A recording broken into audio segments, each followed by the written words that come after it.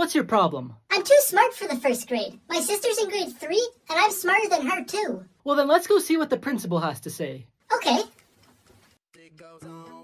How about I give him a test, and if he fails just one question, he has to go back to class and be quiet. Okay, what's 3 times 3? Nine. 6 times 6? 36. I see no reason why he can't go to the third grade. He answered all my questions right. Can I ask him some questions? Of course, go ahead. What does a cow have four of that I only have two of? Legs. What do you have in your pants that I don't have? Pockets. What does a dog do that a man steps into? Pants. What starts with F and ends with K? Fire truck. Put him in the sixth grade. I got the last four questions wrong myself.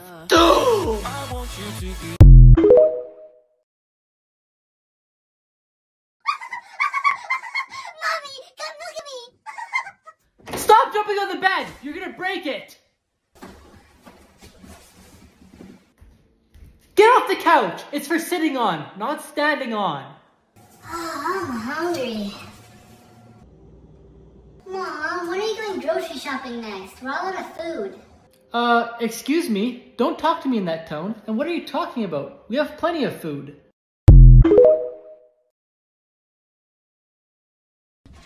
What comes once a year, twice in a month, four times in a week, and six times in a day? Do you know the answer? Hmm. I don't know. Let's try this again.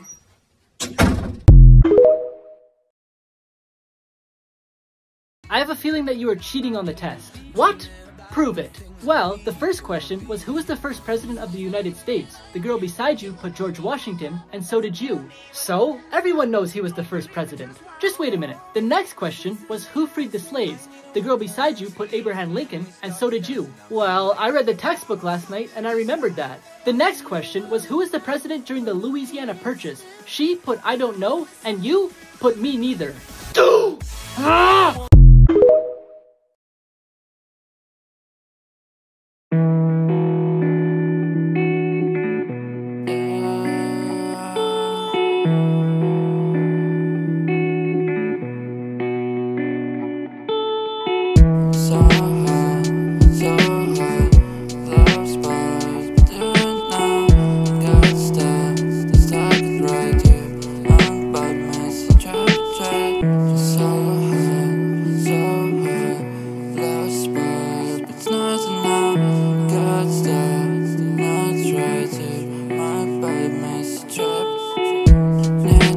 Excuse me, where's my table? Hi, miss. Uh, what's the name on the reservation? I don't need a reservation. I know the owner. I'm sorry, but we can't seat you unless you have a reservation. Are you serious? You're the worst waiter I've ever met. Just let me in. I'm sorry, but I can't. You either have to wait two hours or make a reservation for another night. You know what? You're gonna regret this. I'm gonna show you that I know the owner. Hello? Hi, sweetie. I need you to call the owner right now, please. Okay. Hello?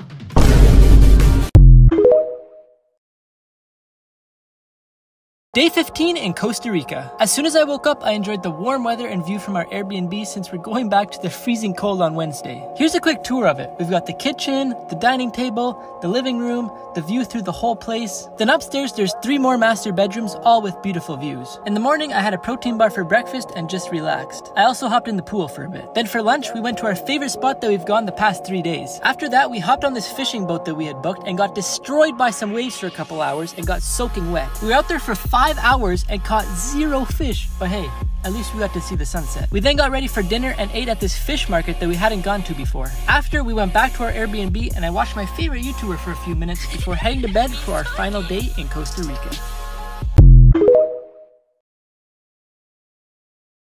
I want to break up with you.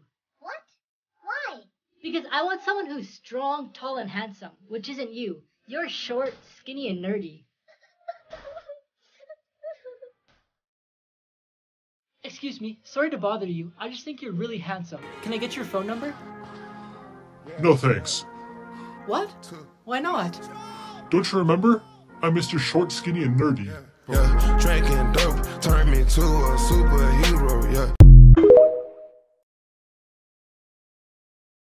Won't believe what I did during my three day stay in La Fortuna. The first day we hopped on a bus to go on a safari float. We saw a bunch of animals like crocodiles, sloths, owls, toucans, and these monkeys that we went under, and they almost did their business on me. Sadly, they got a little bit on my shoe. In the afternoon, we went to La Fortuna waterfall and got to swim beside it. The waves were very strong as you can see for me struggling to swim. The next day we went horseback riding to the volcano. Unfortunately, I couldn't get any good clips while we were riding, but on the way back we got to gallop at full speed, which was fun. In the afternoon, we walked through the forest to get to the hanging bridges, then on the way back we saw some spider monkeys. After that, we stopped at the natural hot springs until it got dark. On the last day, we went on 12 zip lines, and by the time we finished that and ate, it was almost dark outside, so we just explored the town for a bit, then went to the hot springs at our resort. I couldn't include everything in this video, like these scooters that we rented to get around town, and our meals, which was some of the best food I've ever tasted in my life. The next morning, we rented a car to go to our final stop of the trip. But before we left, we went to the rope swing, which was super fun.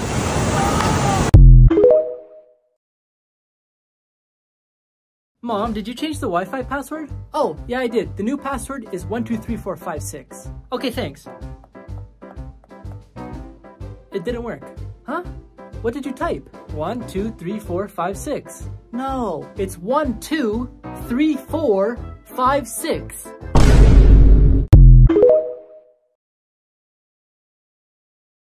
Excuse me, sir. Is this bike for sale?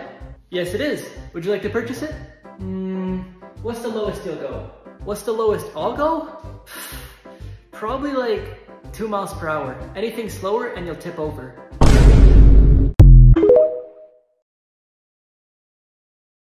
This hotel sucks. Why? What's wrong? Last night I got no sleep. Every 15 minutes this loud banging noise woke me up. Oh, I'm so sorry. How was your guys' stay? Terrible! The guy in the room beside us was snoring so loud that we had to bang on the wall every 15 minutes to wake him up.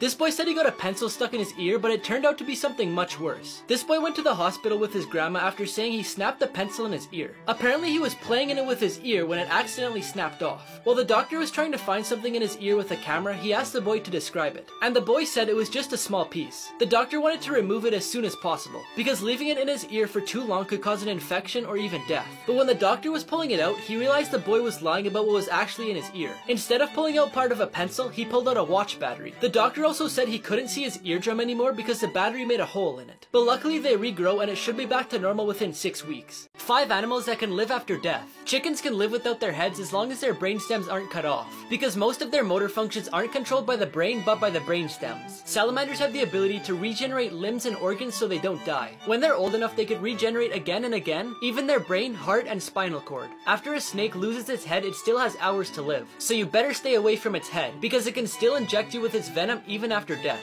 Flatworms can rebuild any part of its body after it's cut off. If they're cut in half, the head will rebuild the tail and vice versa, resulting in two flatworms. Cockroaches are resistant to radiation and are most likely to survive a nuclear attack. They can live after decapitation for a long time, but since they can't eat, they die of starvation.